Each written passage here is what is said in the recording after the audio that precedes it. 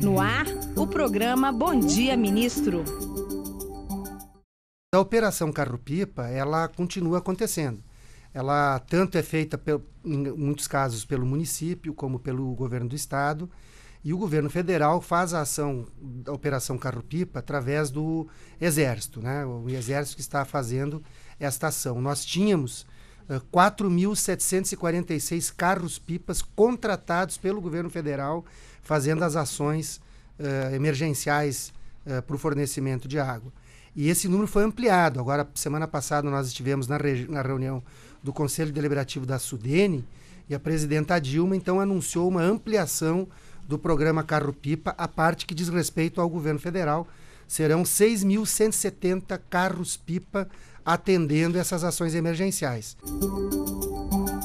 Já tem muita cisterna que foi instalada, mas tem a previsão de ampliação, serão até julho deste ano 130 mil cisternas a mais que serão instaladas. Até o ano que vem serão mais 240 mil cisternas.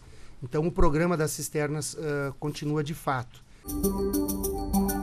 Tanto o Bolsa Estiagem como Garantia Safra, uh, eles vão persistir até o momento em que a seca durar. Nenhum agricultor vai ficar sem receber o Garantia Safra. Se o município ou o agricultor não aderiu ao Garantia Safra, aí ele recebe o Bolsa Estiagem, porque o Bolsa Estiagem, quem é que tem direito ao Bolsa Estiagem? O agricultor familiar que tem a sua declaração de aptidão, que não tenha feito Garantia Safra, e que esteja inscrito no cadastro único de programas sociais do governo federal e tenha renda de até dois salários mínimos. Então, mesmo que ele não aderiu no Garantia Safra, ele vai receber o Bolsa Estiagem, que é um valor um pouco menor, mas ele não fica sem receber nada. Nós disponibilizamos 18 bilhões de reais para o Pronaf.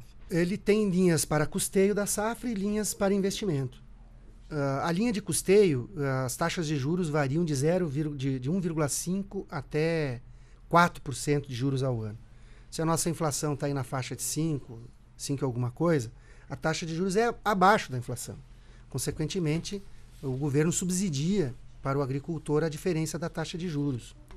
Uh, e ele tem, na linha de custeio, portanto, condições de ampliar a sua produção. Se ele amplia a sua produção, além de estar produzindo mais alimentos para consumo da população brasileira, alimentos, mais alimentos e com melhor qualidade, ele também aumenta a sua renda. E nas linhas de investimento, aí ele tem até 10 anos para pagar. Né? Então nós temos mais de 4 mil itens financiáveis uh, no Pronaf Mais Alimentos, que é a nossa linha de investimento. E ali a taxa de juro é de 2% ao ano. A outra coisa que nós estamos discutindo para a formatação de um grande programa é aquilo que a gente poderia chamar de um programa de recuperação ou de reestruturação produtiva do semiárido.